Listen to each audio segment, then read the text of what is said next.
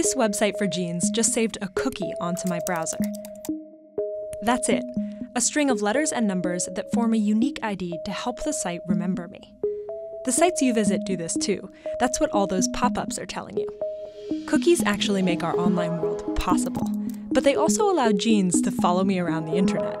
That's because cookies enable companies to band together to track and remember everything we do online. And they've become the center of a war for our personal data. Música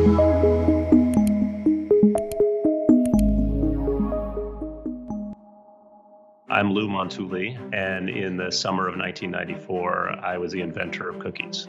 In 1994, Lou was a 23 year old working at Netscape, where they were building what would become the dominant web browser of the decade. The broad problem I was trying to solve was to bring memory to the web. Every time you look at a different page, that's to the web server a completely different visit. Imagine every time you add something to your cart and click away, it disappears. Or each time you load a new page on Facebook, you have to log in again. Would it be fair to say that the experience of the web before cookies was a little bit like talking to Dory from Finding Nemo? yeah, yeah. That the the Dory analogy is is pretty apt here. See, I, I suffer from short-term memory loss. Short-term memory loss. Cookies solved that problem. So if in particular you were looking for a set of blue suede shoes, with each new click, the site recognizes the unique ID from the cookie stored on my browser and retains information like what I put in my cart, but also often my location, what else I click on, how much time I spend there, plus details I deliberately give it, like my email address. As I browse through the site or even leave and come back, the cookies they added to my browser will tell them I'm the same visitor, not a different one. Okay, so I should see that here, right, if I reload? Yes. Hey, wow. I know. A lot of cookies there. These are first party cookies, and over the last 20 years, they've allowed us to live more and more of our lives online. It was, it was really a great feeling to see people create things that we had never thought of. But one of those things was a way to track us wherever we went next, like a news website or social media. The same year Lou invented cookies, this appeared the first digital banner ad.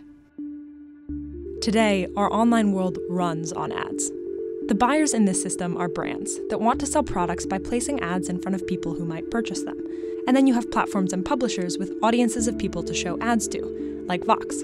In between, you have middlemen dedicated to making sure the ads from the brands are delivered to the right people. Some companies play multiple roles. Facebook and Google are the biggest players because they have huge audiences and a huge amount of information they can use to target ads to you.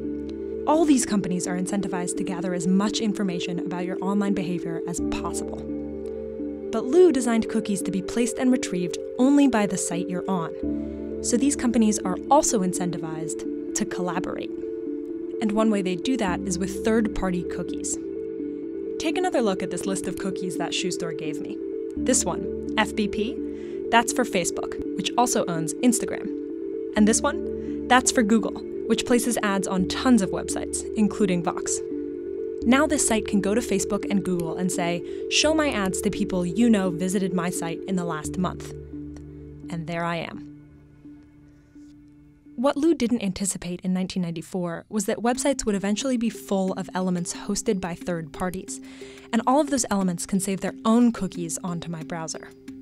Those cookies are created by the domain of the third party, who can then access the data from the site you're on, but also from every site you visit that uses those same third party elements.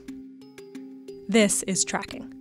And it transformed our online world from one in which hundreds of companies knew a small amount about your online behavior to one in which just a few companies can know it all. Right now, this map of your activity is mostly used to serve you personalized ads, but once it's collected, there's no getting it back. In the last few years, some browsers have started to block third party cookies by default. Google's browser, Chrome, gives you the option if you look for it. This makes it more difficult for the middlemen to know that the person who shopped for apartments on one site and bought medicine on another and looked for romance on another are all the same person. But companies incentivized by billions in ad dollars will always find a loophole. They know you don't want to block first party cookies, because then many sites wouldn't work. So companies like Google and Facebook can give sites a piece of code that looks like a first party cookie, but then sends all the data to the third party anyway. Facebook calls their solution Facebook Pixel. Facebook Pixel. you can now use both first and third party cookies with your Facebook Pixel. This will allow you to reach more customers and be more accurate in measurement and reporting. And what this reads to me as is don't worry, people can't turn this off. Uh, it, well, it makes it more difficult to turn off via third party cookies. Yes. How do you feel about the way in which companies like Facebook have used the technology that you built?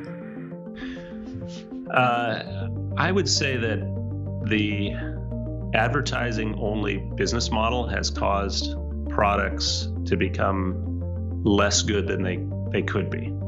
As long as these companies have a common goal of showing you ads for things you're likely to buy, they'll be motivated to share information with each other about you.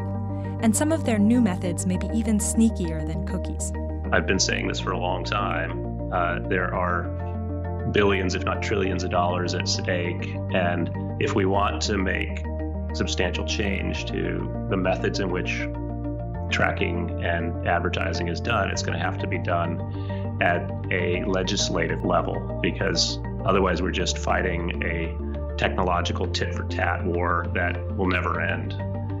Especially because the companies best positioned to win that war are the tech giants that already have the most information about us and have the most resources to find ways to get more.